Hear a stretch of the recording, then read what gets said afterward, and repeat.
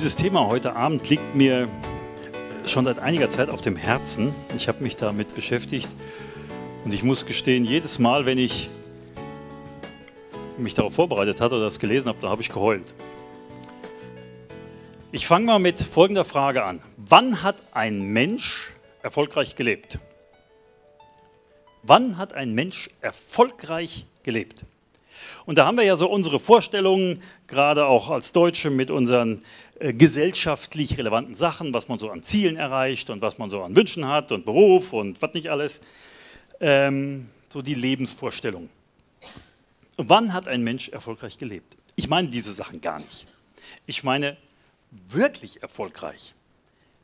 Also nicht das Erreichen von eigenen Zielen, die man sich so gesteckt hat, sondern um ein wirklich, wirklich erfolgreiches Leben. Was ist eigentlich der absolut entscheidende Punkt? Wenn man aus christlicher Sicht die Sache betrachtet, kommt man sehr schnell an die Basics. Ne? Nämlich das Wichtigste in diesem Leben ist nicht, dass man erfolgreich ist oder was weiß ich, gute Ehe hat oder sonst was. Das Wichtigste in diesem Leben ist, dass man durchdringt zum ewigen Leben. Es gibt nichts, überhaupt nichts, was auch nur annähernd so wichtig ist wie das. Deshalb hat auch Sigrid am Anfang über das Thema Bekehrung gesprochen. Das Wichtigste ist, dass wir in diesem Leben eine Neugeburt erfahren und in das eigentliche ewige Leben hineinkommen. Denn was nützt es uns, wenn wir noch so schön leben können, am Ende aber an diesem Eigentlichen, was Gott für uns hat, im ewigen Leben vorbeischlittern.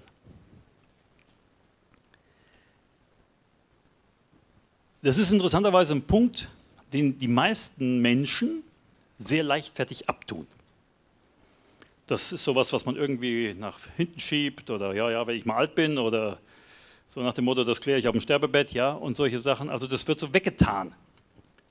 Dabei ist es das eigentlich Entscheidendste, das Wichtigste, was überhaupt für uns äh, dran ist.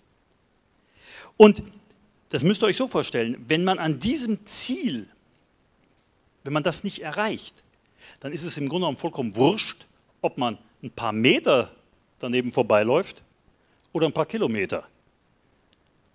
Es ist vollkommen wurscht. Entweder erreichst du das Ziel, wirklich das Ziel, oder du läufst daneben vorbei. Aber wie weit du vorbeiläufst, ist eigentlich egal.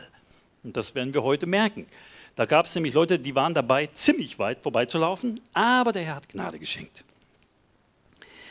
Wohingegen die meisten Menschen, die in der Verdammnis landen, die werden ziemlich knapp am Ziel vorbeilaufen. Bedauerlicherweise. Das sind die, die sagen, na, ich habe doch keinen umgebracht. Der Herr wird schon zufrieden mit mir sein. Irrtum, euer Gnaden, wird er eben nicht. Und darum geht es heute. Gnade, die Gnade Gottes ist nämlich ein durchaus sehr provokantes Thema ein Thema, was man, wo, wo es Leute gibt, die sich richtig, richtig darüber ärgern können. Das ist alles andere eigentlich als sowas, was man so wie Zuckerwatte abtut. Von wegen.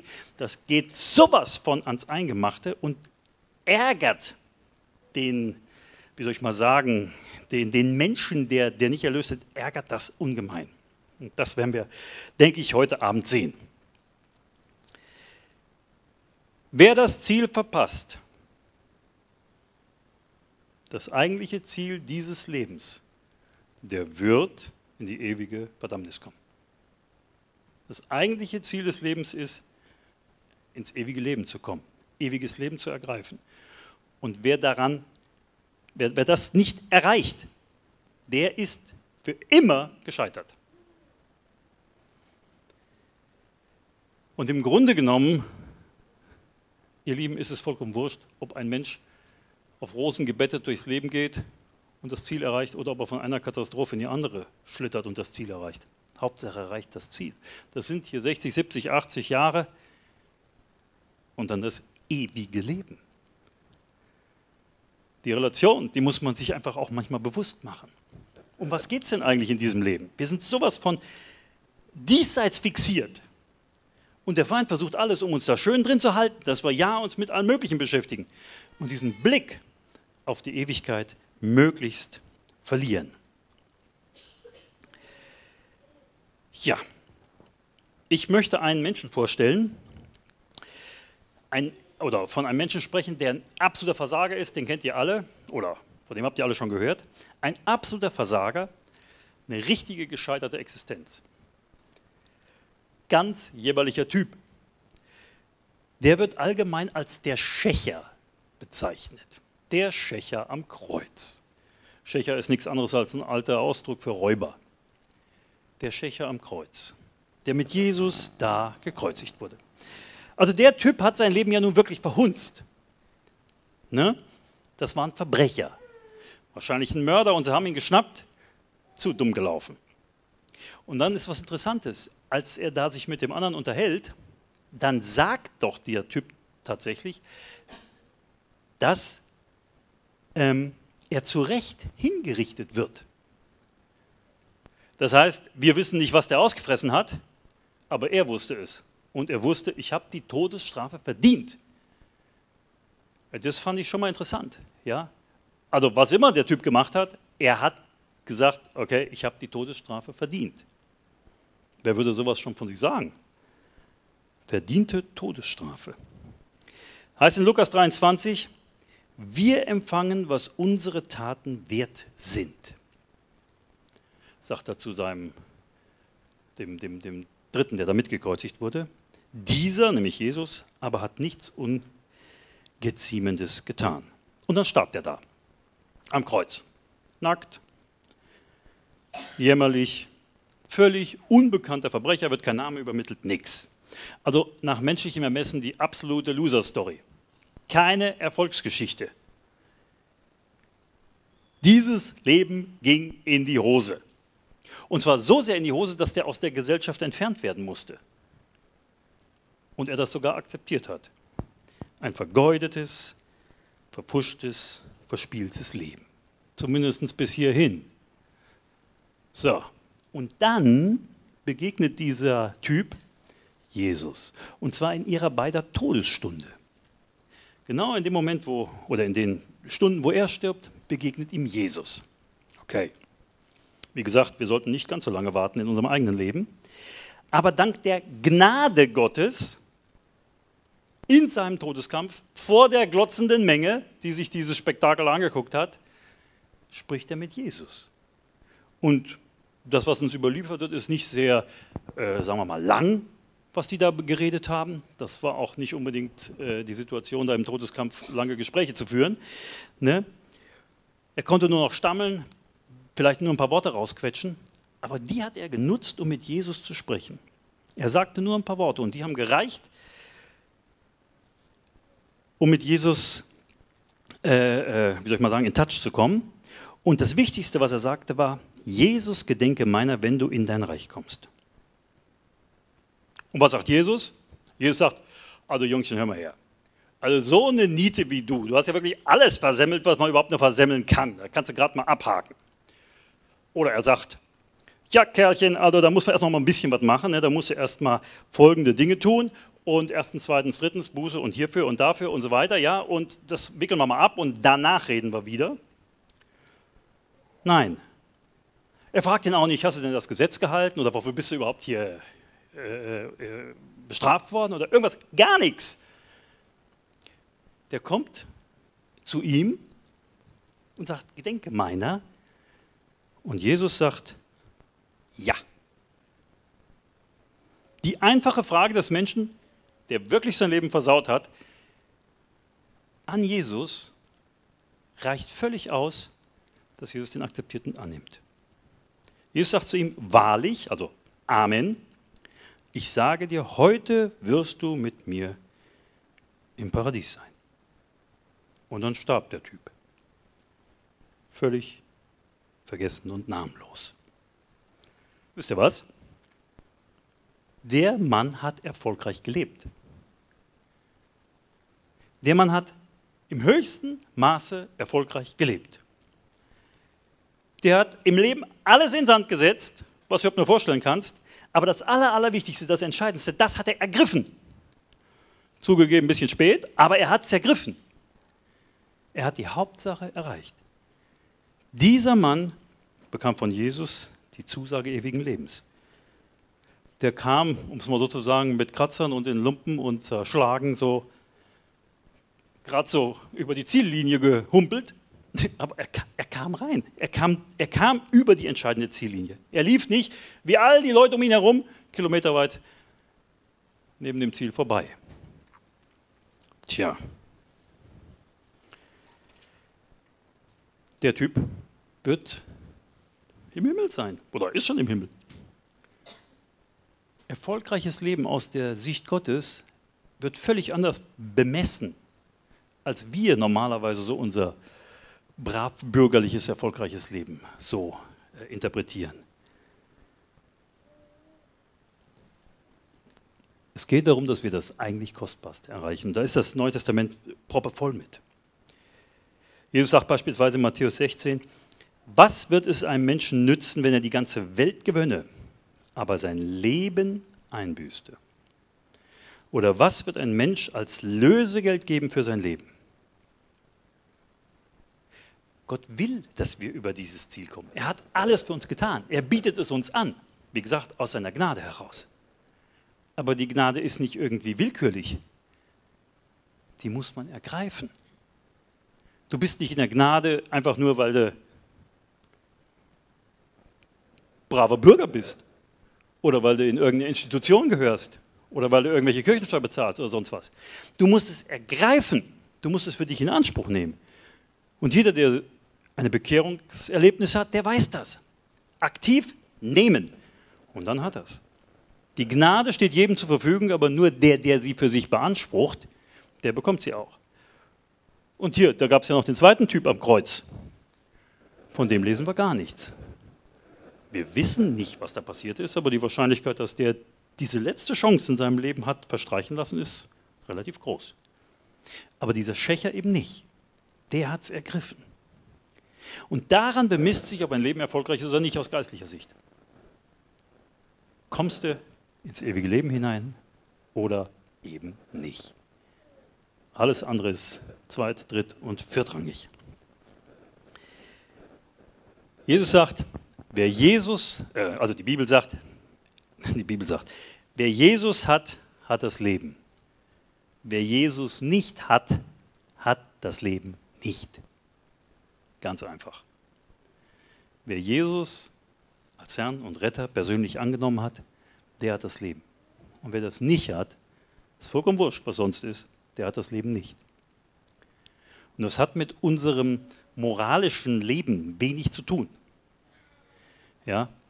Die, guck mal, es gab eine Unmenge von religiös, moralisch sehr korrekt lebenden Leuten zur Zeit Jesu.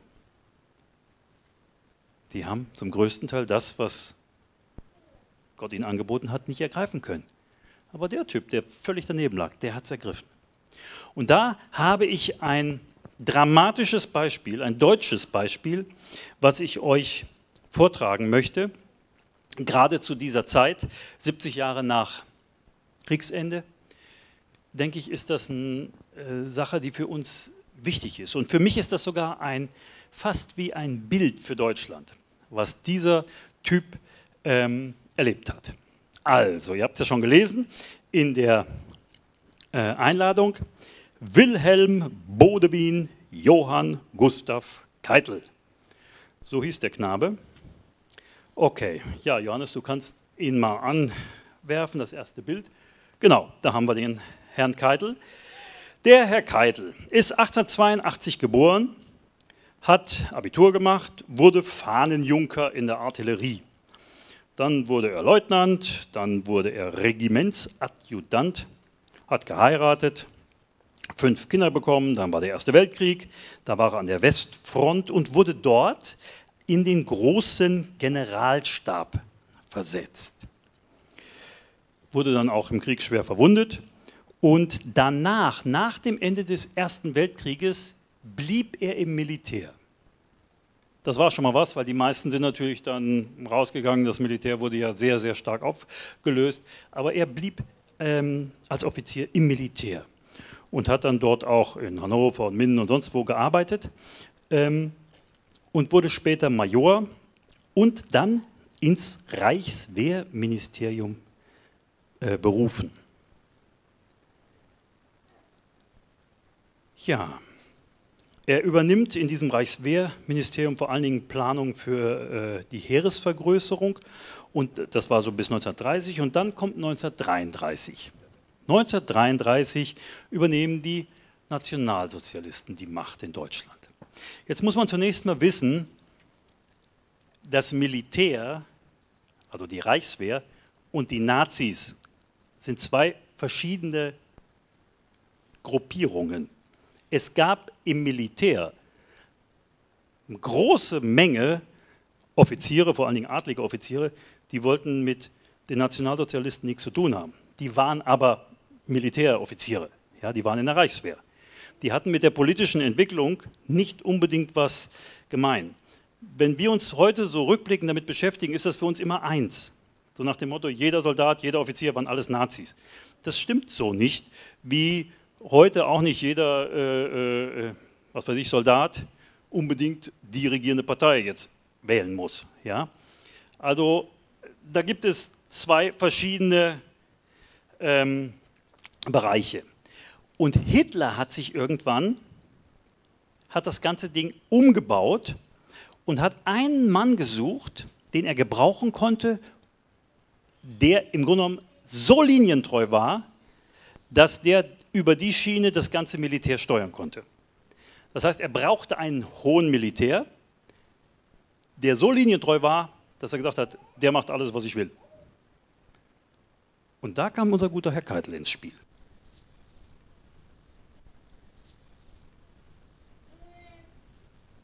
Nach der Machtübernahme der Nazis wurde er also befördert, erst in Bremen, dann wurde er nach Berlin berufen, dann wurde er zum General ernannt.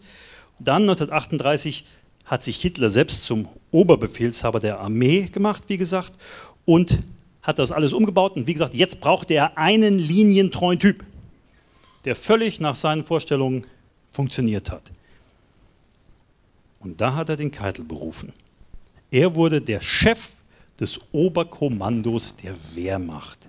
Der oberste Soldat oder Militär in ganz Nazi-Deutschland. Der aller, aller oberste Boss. Ja, er wurde dann zum Generalfeldmarschall, so nannte man das, berufen der war nichts weiter als ein Handlanger von Adolf Hitler.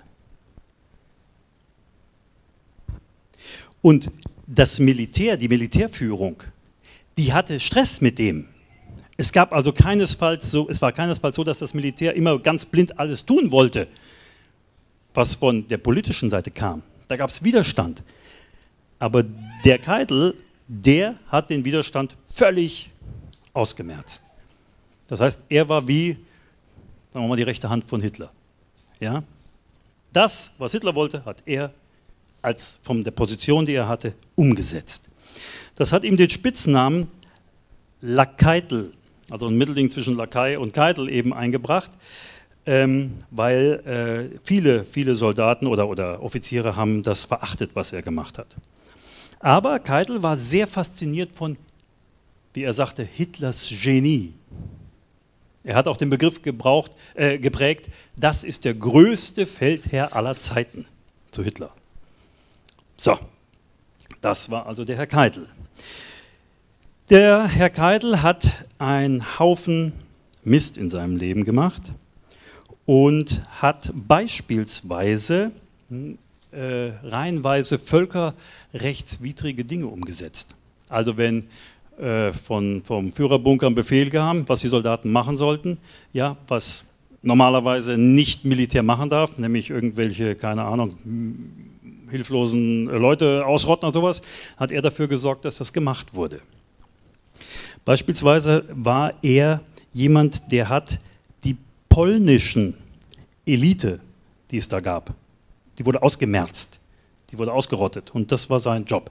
Ja, dafür war er zuständig. Das hat er ähm, organisiert. Er hat in Jugoslawien beispielsweise hat er einen Befehl gegeben, ähm, da gab es Aufstände in Serbien und da hat er gesagt, als Sühne für ein deutsches Soldatenleben muss im Allgemeinen die Todesstrafe für 30 bis 100, 100 Kommunisten als angemessen gelten. Das heißt, das war natürlich dann äh, einem Abschlachten völlige Freiheit gegeben. Noch verrückter wird es, da ähm, äh, auch in Jugoslawien, da hat er im Jahr 1942, also mitten im Krieg, gesagt, die Truppe ist berechtigt und verpflichtet, in diesem Kampf ohne Einschränkung auch gegen Frauen und Kinder jedes Mittel anzuwenden, wenn es nur zum Erfolg führt. Das heißt, völlige Freisetzung für alle Gräueltaten, die du dir vorstellen kannst. Das war wie IS. Ja? Egal was, alles ist erlaubt. Hauptsache, wir bauen da unsere Macht aus. Also der Typ war wirklich, wirklich derb. Dann hat er auch ähm, Soldaten dazu gebracht, also Jobs, also wirkliche Dirty Jobs auszuführen, die normalerweise so die SS-Leute gemacht haben. Die SS war eine Nazi-Organisation. Wie gesagt, die Reichswehr war einfach nur das Heer. Da gab es viele Nazis, aber es gab auch viele, die damit im Grunde genommen nichts zu tun haben wollten. Aber er hat die eben da auf Linie gebracht. Und da war beispielsweise eine Aussage ähm, im Jahr 41, da hat er gesagt, der Kampf gegen den Bolschewismus verlangt ein rücksichtsloses und energisches Durchgreifen, vor allem auch gegen die Juden, die Hauptträger des Bolschewismus. Und er hat immer und immer wieder über die Genialität des Führers und auch dann äh, ganz zum Ende des Krieges diese Durchhalteparolen, so bis zum letzten Mann kämpfen und so weiter, da hat er ganz, ganz stark äh, ja, Schuld auf sich geladen. Und dann kam es dazu, dass der Krieg verloren wurde. Kannst du mal das nächste Bild machen? Und am 8., in der Nacht vom 8. auf den 9. Mai 1945, also vor etwas über 70 Jahren, hat er weil er eben der oberste Militär war. Man beachte, mit militärischer Dings, hier mit Säbel und Handschuh und allem, ne? richtig, Offizier, die Kapitulation unterschrieben. Er war derjenige, der dafür zuständig war. Ja, das war übrigens im, im sowjetischen Hauptquartier. Die hatten den also geschnappt und ähm, da musste er das dann unterschrieben. Und dann wurde ihm und weiteren Personen wurden angeklagt und wurde nach Nürnberg gebracht, wo die Nürnberger Prozesse stattfanden. Er war einer der Leute, die dort ähm, auf der Anklagebank saßen. Und man hat ihn wegen vier Punkten hat man ihn angeklagt. Erstens Verschwörung zur Planung eines Angriffskrieges Zweitens Verbrechen gegen den Frieden. Drittens Kriegsverbrechen. Viertens Verbrechen gegen die Menschlichkeit. Das waren seine Anklagepunkte. Und die Anklager, die hat vor allen Dingen folgenden Punkt gehabt, haben gesagt, er war derjenige, der die Wehrmacht missbraucht hat, damit sie von den Nazis äh, äh verwendet werden konnte. Er war die Schlüsselperson, die im Grunde genommen das Heer den Nazis zur Verfügung gestellt hat. Ja, und er wurde schuldig befunden in allen vier Bereichen, allen vier Anklagepunkten und am 1. Oktober 1946 zum Tod durch den Strang verurteilt. Neun, äh, nein, zehn wurden hingerichtet durch Strang und das wurde am 16. Oktober 1946 in Nürnberg durchgeführt. Er hat noch darum gebeten, dass man ihn, weil er Soldat ist, erschießt. Das wurde abgelehnt. Er wurde erhängt und war 64 Jahre alt. So, Johannes, machen wir das nächste Bild von den Nürnberger Prozessen. Das ist jetzt sehr unscharf, aber okay. Das war halt dieser ähm, im Wesentlichen von Amerikanern geleitete Nürnberger Prozess. Das waren übrigens die letzten Todesurteile, die es in Deutschland gegeben hat. Ne? Und genau, und das nächste nochmal. Genau, hier sitzt er. Hier hast du also Göring, Ne? Und da sitzt der gute Herr Keitel, seiner militärischen Abzeichen also inzwischen entledigt. Ein Nazi-Kriegsverbrecher. Ganz doofe Story. Also der hat im Grunde genommen Millionen von Menschenleben auf dem Gewissen.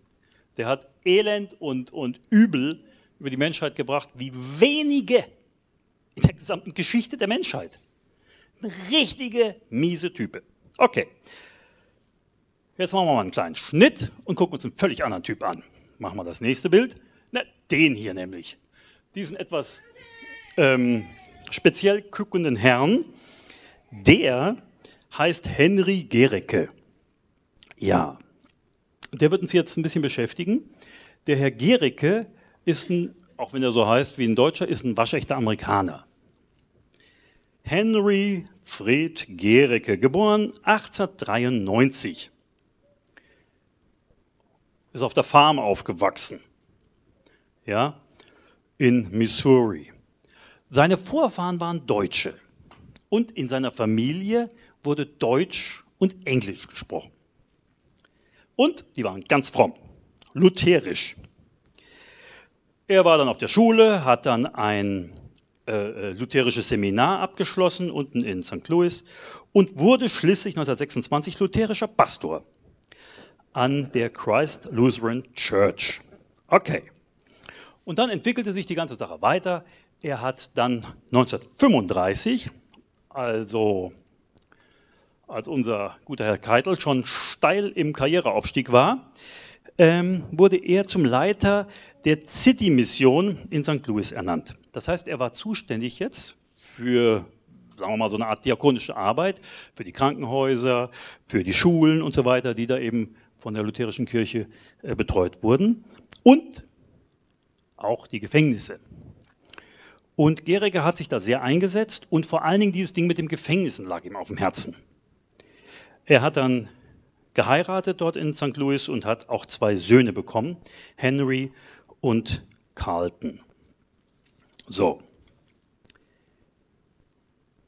Und dann fing der Krieg an und es begann also der Irrwitz zu toben und irgendwann beschlossen die Amerikaner, weil sie merkten, dass das da alles völlig äh, aus dem Ruder gerät, sich in den Krieg einzuklinken und dieser berühmte D-Day wurde geplant.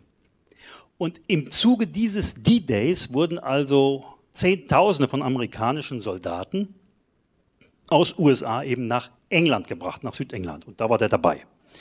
Er kam am 17. August 1943 hat er beschlossen, als, als, als, als Armeepastor zu dienen. Ja, weil er gemerkt hat, da äh, läuft so viel schief, die brauchen jetzt dringend Hilfe und hat wirklich sich da verpflichtet, als Armeegeistlicher dort der äh, ähm, amerikanischen Armee zu dienen und ist dann mit denen 1944 nach England gekommen. Dort hat er dann im Krankenhaus gearbeitet, wo die Verletzten betreut wurden, monatelang. Und erst nachdem der Krieg zu Ende war, kam er überhaupt nach Deutschland. Im Juni 1945. Da haben sie nach München gebracht. Und da hat er das KZ Dachau, was inzwischen schon ähm, äh, befreit worden war, hat er gesehen. Das hat ihn sehr, sehr geprägt. Seine beiden Söhne hatten sich auch für die Armee gemeldet und wurden beide schwer verletzt. Ja, wir haben noch ein anderes Bild von Herrn Gericke. Da ist er. Chaplin auf seinem Jeep. Ne? Dann wurde er 1945 im November, da hat sein Vorgesetzter ihn ins Büro gerufen. So, und da haben sie ihm gesagt, pass mal auf, du, wir haben hier eine Anfrage. Du sollst nach Nürnberg versetzt werden. Du sollst dort Kaplan für die, also als Seelsorger für die vor Gericht stehenden Nazis werden. Und sein Chef hat gesagt, pass mal auf, Junge, das ist der blödste Job, den du machen kannst. Das ist der unpopulärste Aufgabe, die du dir überhaupt noch vorstellen kannst. Ich rate dir eins, sag, du bist zu alt und lehnst es ab lass den Job jemand anders machen. Er hat gesagt, okay, mal ein paar Tage Bedenkzeit und dann kam er zurück und hat gesagt, nein, ich mach's. So, der war 52 und ist dann nach Nürnberg gekommen. Die US-Armee hat ihn aus drei Gründen beauftragt. Erstens, weil er Deutsch sprach. Zweitens, weil er Gefangenenseelsorge viel Erfahrung hatte. Und drittens, weil er lutherisch, also evangelisch war. In diesen Nazi-Kriegsverbrechern gab es ähm, ein paar, die wollten gar nichts und ich glaube 14 oder sowas, die wollten, oder 15, die wollten ähm, evangelische Betreuung, Seelsorge und sechs oder sowas wollten katholische. Da gab es also auch noch einen katholischen Geistlichen für die paar Leute und eben ihn dann für die evangelisch geprägten. Als er da hinkam, haben sie ihm gesagt, du kannst alles machen, du hast völlige Freiheit, mach, was du für richtig hältst, nur zwing die Leute nicht. Ja? Also, wenn sie wollen, ist alles gut, aber wenn sie nicht wollen, dann lass in Ruhe. So etwa. Gut, und dann fing er an. Im November 1945 hat er seinen Job aufgenommen. Zunächst mal hat er jeden Gefangenen einzeln besucht. Und da gibt es ein Zitat von ihm, da heißt es, als ich den Naziführern in ihren Zellen vorgestellt wurde, fragte ich mich selber, wie muss ich diese Menschen begrüßen, die so unnennbar viel Leid über die Welt gebracht haben und die Ursache sind für den Verlust von Millionen von Leben. Auch meine zwei eigenen Söhne waren Opfer dieser Missetäter geworden. Wie sollte ich diese Männer begleiten und die Saat von Gottes Wort in ihre Herzen legen? Ohne selber das Wachstum dieser Saat zu verhindern. Und dann beschreibt er, er hat ein Buch darüber geschrieben, wie das alles gelaufen ist. Wie er bei Göring in der Zelle war und bei jedem Einzelnen von denen, äh, für die er eben dann zuständig war. Und wie sich das entwickelt hat und wie die dann teilweise schroff abgelehnt haben oder was weiß ich, so, so blöd reagiert haben oder sowas. Und andere, die sehr offen waren dafür, für seinen Beistand.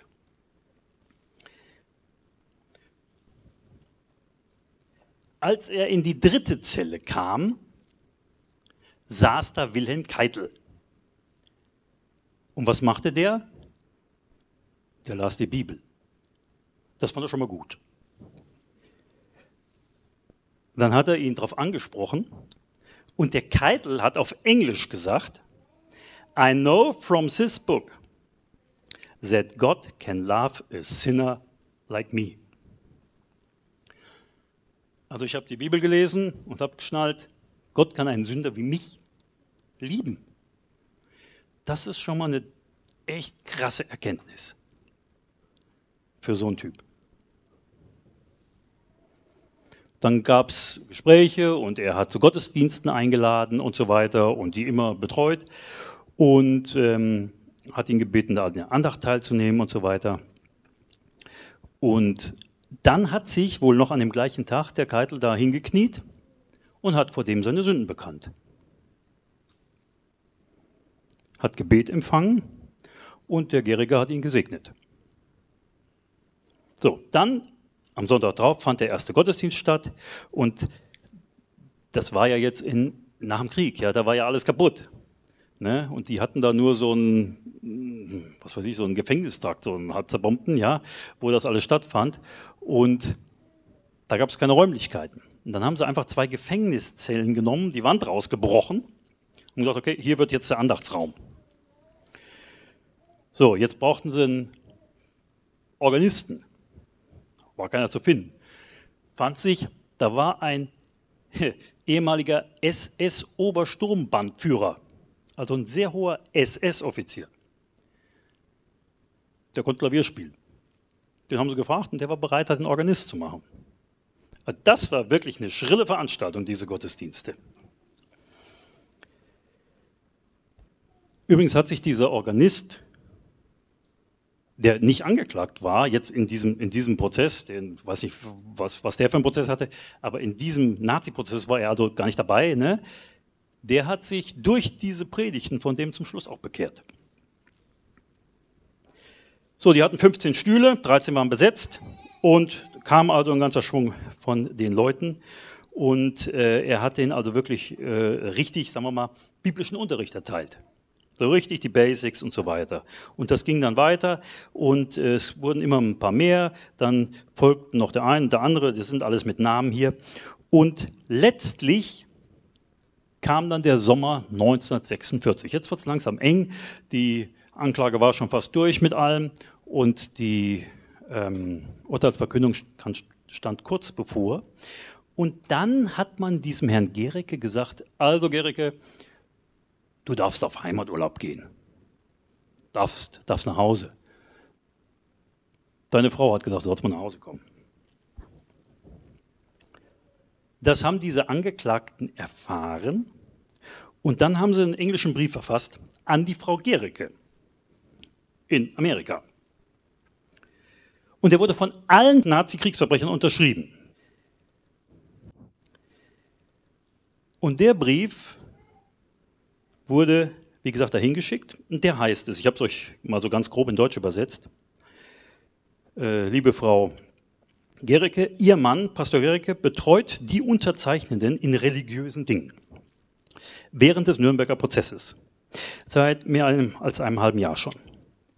Wir haben nun gehört, liebe Frau Gericke, dass Sie ihn bitten, nach Hause zu kommen. Wir verstehen diesen Wunsch sehr gut. Trotzdem bitten wir Sie darauf zu verzichten, Ihre Familie um sich herum zu versammeln. Bitte berücksichtigen Sie, dass wir auf Ihren Mann jetzt nicht verzichten können. Unser lieber Kaplan Gericke ist notwendig für uns, nicht nur als Pastor, sondern auch als der gute Mensch, der er eben ist. Und dann kommt eine interessante Aussage.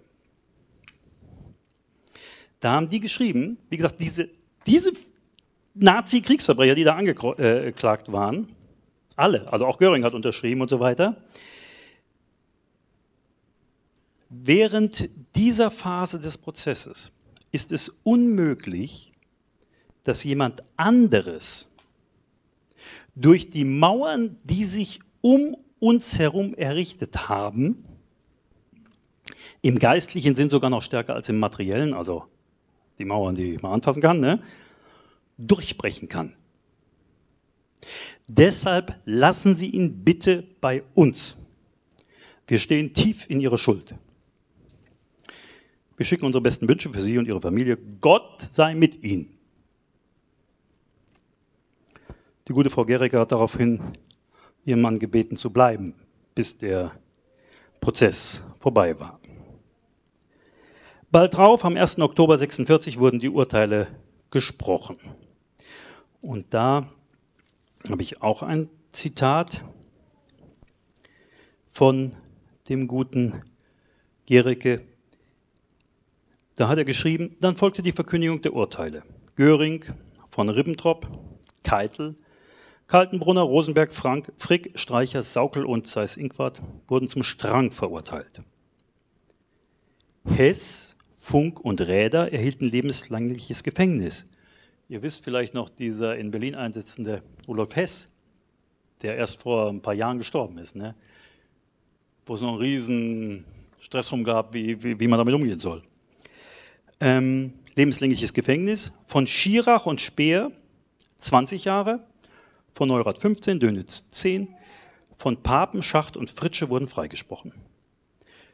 In den Annalen des Gerichts steht dieser Tag verzeichnet als das jüngste Gericht. So haben die das da genannt, die Amis. Und jetzt wird es ernst. Und in dieser Phase betreut er also fünf, sechs Leute ganz intensiv, die sich wirklich für das Evangelium öffnen. Und ähm, da gibt es beispielsweise den von Ribbentrop, das war der Außenminister der Nazis. Ne?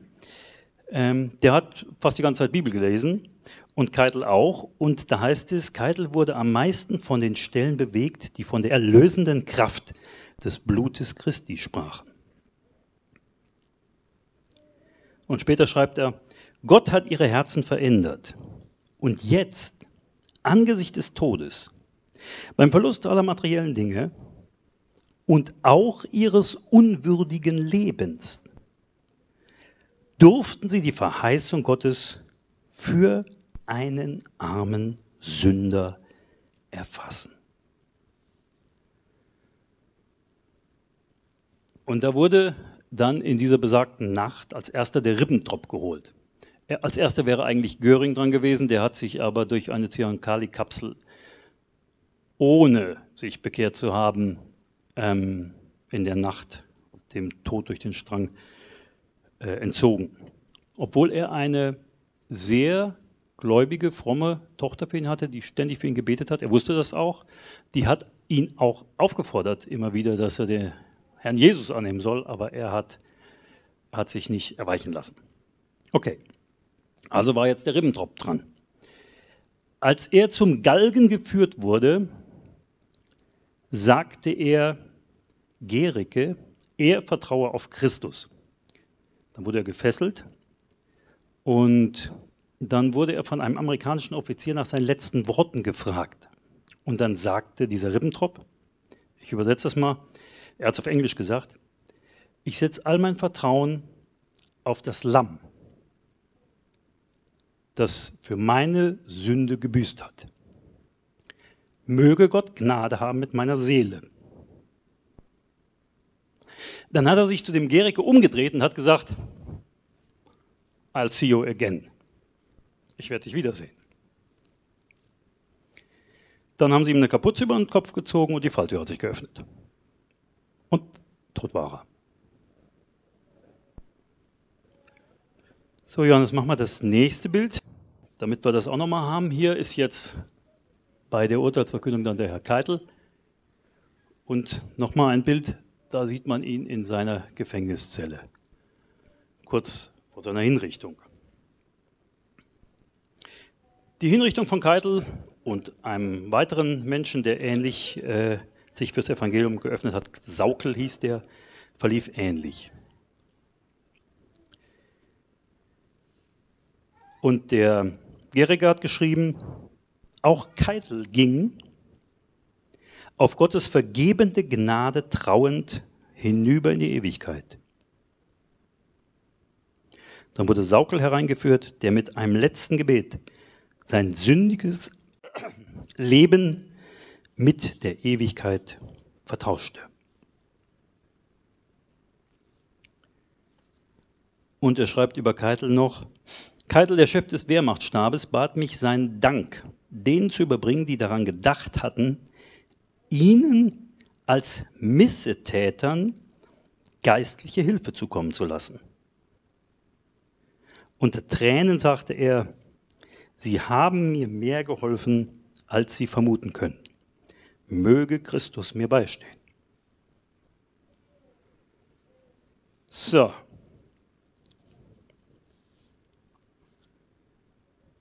Das ist wirklich ein super erstaunliches Beispiel der Gnade Gottes. Denn die Gnade Gottes reicht aus, damit ein solcher Schwerverbrecher durch das Blut Jesu reingewaschen wird. Die Sünde, die der Typ getan hat, mag zum Himmel schreien, aber das Opfer, was Jesus gebracht hat, bedeckt alle Schuld. Und das ist etwas, was durchaus ärgerlich ist.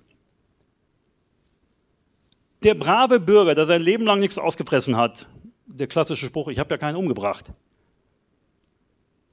der aber diese Gnade nicht annimmt für sich, der fährt zur Hölle. Und der Typ hat die Gnade ergriffen. Der hat Millionen umgebracht oder dazu beigetragen. Und der ist im Himmel.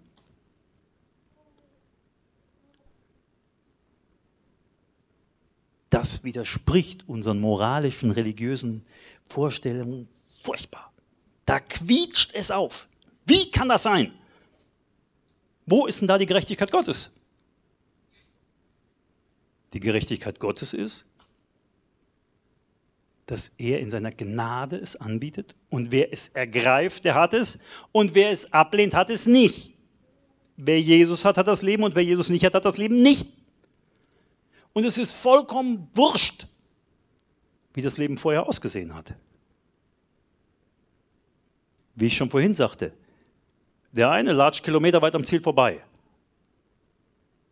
Aber die meisten, die schrappen gerade so eben dran vorbei. Die meinen, sie haben super gelebt und alles ist bestens, aber das Eigentliche haben sie nicht erreicht.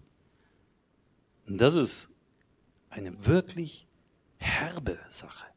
Gnade ist etwas, was unglaublich stark ist und extrem provokant. Gnade ist für den größten Sünder. Gnade ist für den Schächer. Gnade ist für den Typ. Der ist im Himmel. Weil er das Opfer, was Jesus gebracht hat, angenommen hat für sich. Und das ist entscheidend. Wie wir leben und was wir tun und was wir lassen, ist nicht relevant. Natürlich für unseren Lebensweg ist es schon wichtig. Aber es ist nicht entscheidend, ob wir dadurch zum Heil durchbringen. Es ist nicht entscheidend, ob wir das wirklich Wichtigste im Leben ergreifen. Das Wichtigste im Leben ist, Jesus anzunehmen. Und das hat er geschafft. Das ist wie der Schächer. Kurz vor Toreschluss. Durch die Gnade Gottes, weil der diesen, diesen, diesen, diesen Militärpastor da geholt hat, der wirklich ein Erbarmen hatte, ist es dem gelungen, fünf, sechs von diesen Nazi-Größen zum Herrn zu führen. Und beispielsweise diesen. Ein extrem erstaunliches Beispiel für die Gnade Gottes. Die Gnade ist größer. Das Blut Jesu bedeckt alle Schuld.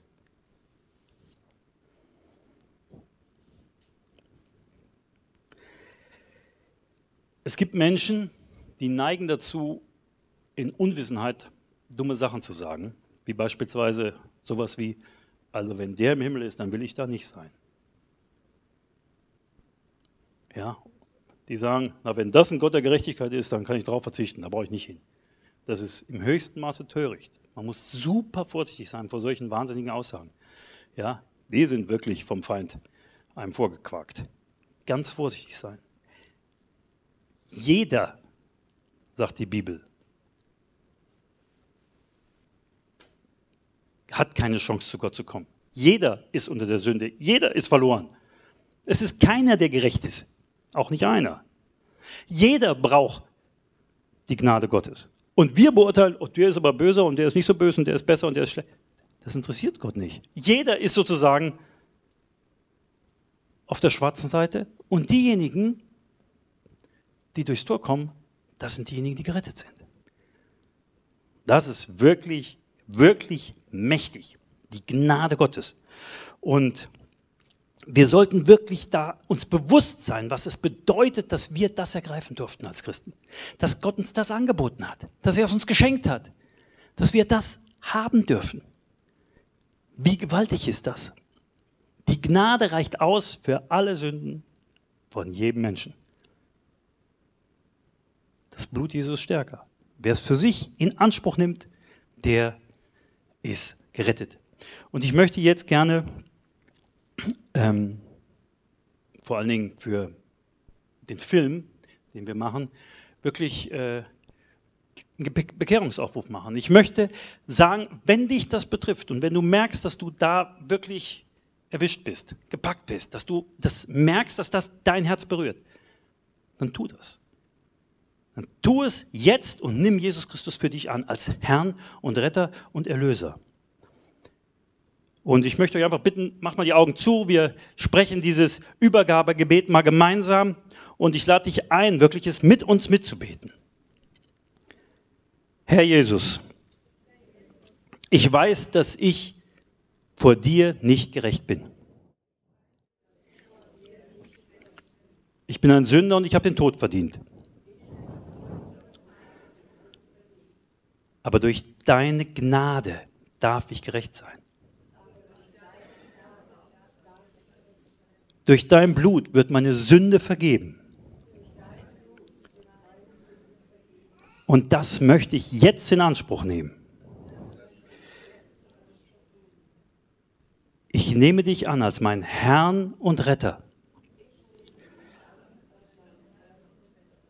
Ich akzeptiere, dass du für meine Schuld gestorben bist. Und dass ich nur durch dich Zugang zum Vater habe. Vergib mir meine Schuld. Ich nehme dich als meinen Erlöser an. Amen.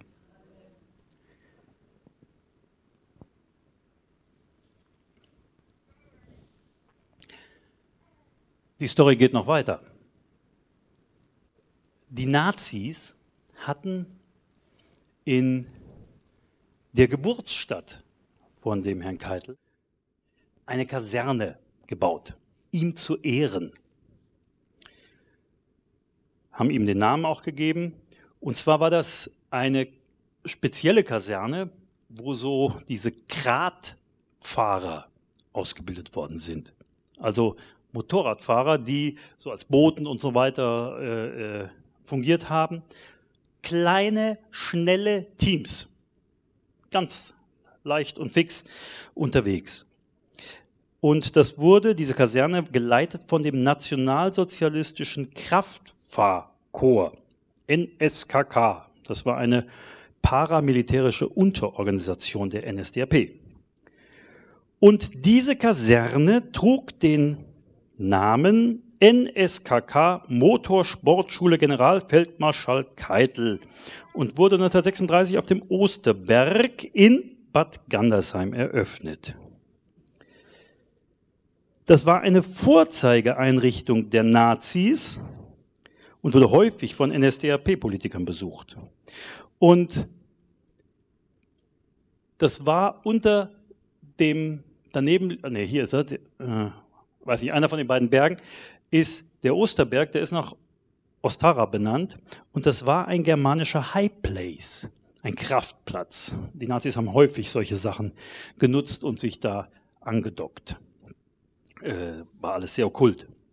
Und der Herr Keitel war in Bad Gandersheim, in einem kleinen Dorf, was zu Bad Gandersheim gehört, geboren, in Helmscherode. Diese Kaserne war dann zwischenzeitlich, waren da norwegische Soldaten nach dem Krieg untergebracht und dann später ging das an den Zoll, wurde eine Zollschule. Und danach wollte der Staat das dann verkaufen und eigentlich wollten sie Gefängnis reinmachen. Und dann kam Ehepaar Humburg und Schäns vorbei und sagten, das würden wir gerne nehmen, wir wollen da auch was Paramilitärisches machen für die Armee des Herrn. Und da ist das Glaubenszentrum reingegangen.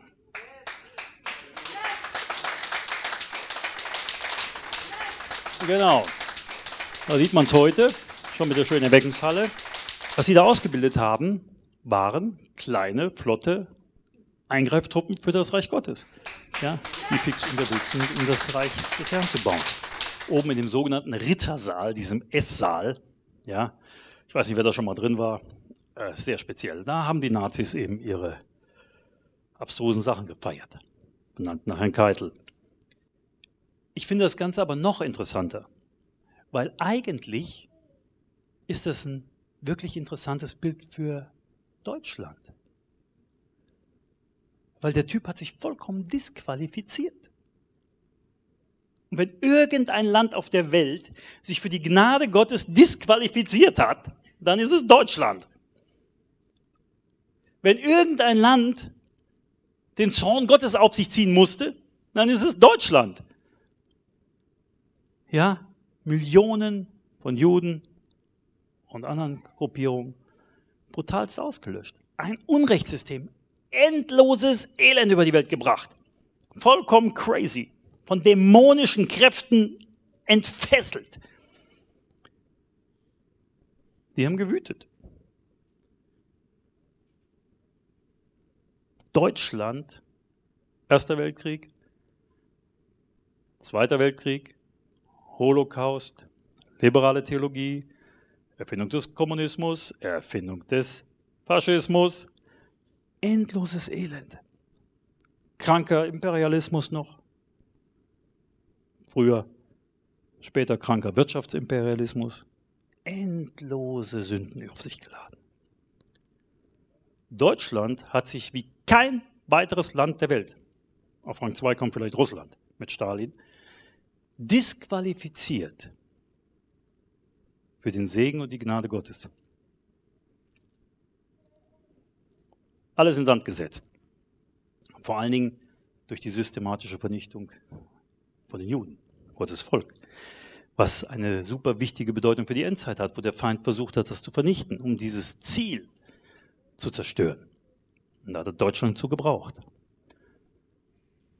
Und wenn man sich dann mit dem beschäftigt, was der Herr für Deutschland an prophetischen Vorhersagen hat, was er uns zusagt von dem, was er tun wird, was er durch Deutschland tun will, gerade auch im Hinblick auf Israel, dann sagst du, wie ist das möglich?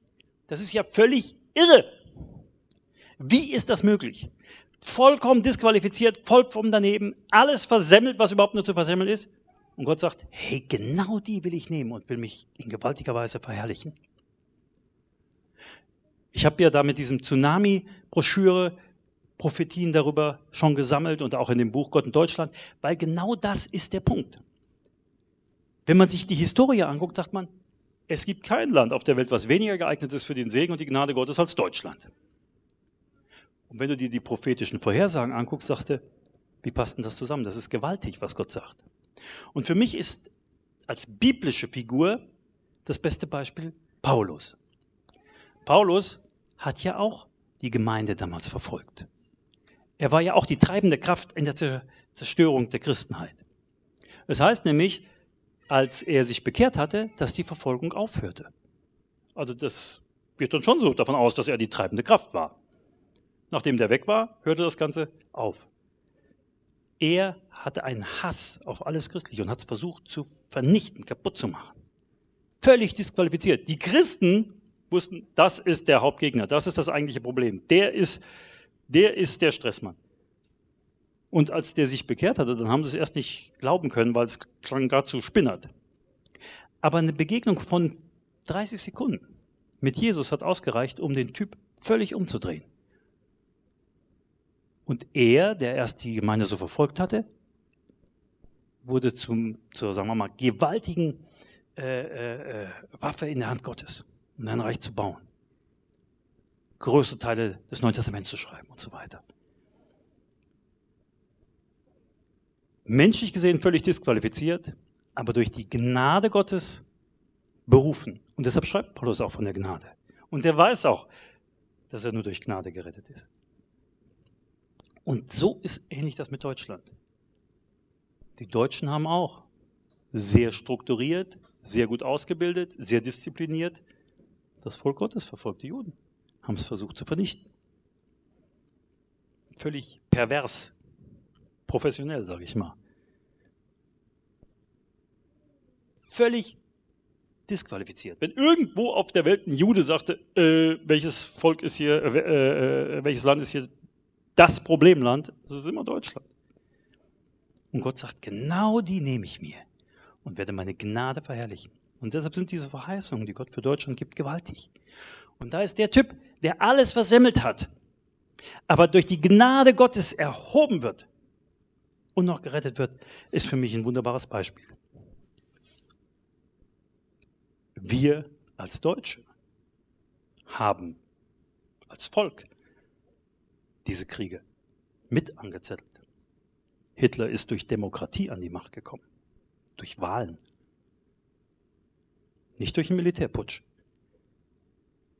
Da ist ein großes Problem in Deutschland gewesen.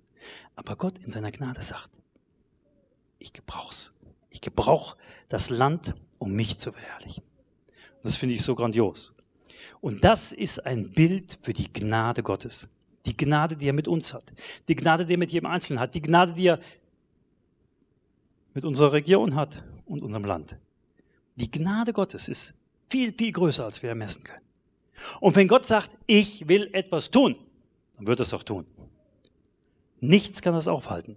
Und deshalb sind wir voller Begeisterung von den Verheißungen, die Gott uns gibt als Nation und sagen, menschlich gesehen, hier jetzt fast skurril an sowas zu glauben. Aber im Geist kann da ganz schnell sich was verändern. Und deshalb strecken wir uns danach aus, nach dem, was Gott für uns hat. Wir strecken uns aus nach dem, was an Verheißungen da ist. Und sagen, Herr, wir wollen dabei sein, wir wollen dir zur Verfügung stellen, dass du deine Gnade durch diese Nation, durch die Christen, die sich hier bekehren, durch die gewaltigen Zeichen und Wunder, die du verheißen hast, der ganzen Welt zeigst. Was für ein Zeugnis. Was für ein Zeugnis. Wenn Gott diese Deutschen nimmt, um sich zu verherrlichen.